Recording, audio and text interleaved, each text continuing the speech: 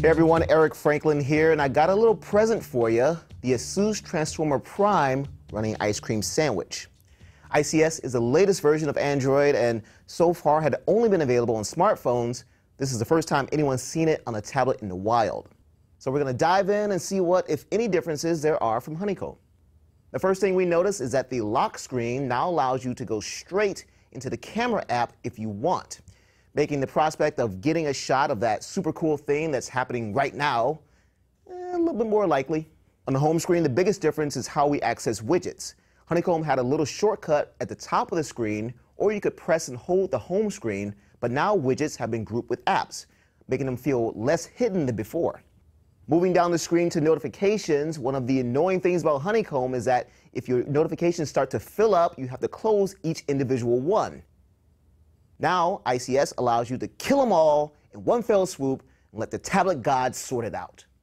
Also, instead of simply showing you the last message you've received, ICS consolidates all mail notifications into one, showing you how many new messages you have. Moving into settings, you'll notice right off the bat that things are subtly different. Settings have now been split into four sections wireless and networks, device, personal, and system. Beyond that, there aren't really any huge changes to find here, just a few useful refinements.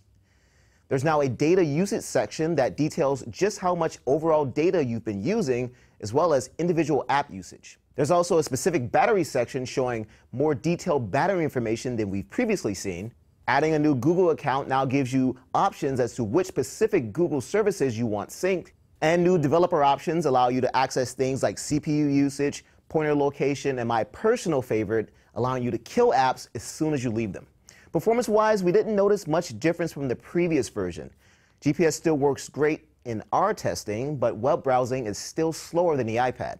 Overall, the biggest new feature is probably the built in photo editing tool, which offers some pretty good options. Well, we'll see what my cat thinks at least. I also like the fact that recent apps can now be closed with just a quick swipe. Well, that's pretty much it. ICS feels like a step up from Honeycomb, if only a small one, and I definitely recommend installing the update. Check out the full review of the Transformer Prime for more details on these and other changes. Once again, I'm Eric Franklin, and this has been a first look at Ice Cream Sandwich on the Transformer Prime.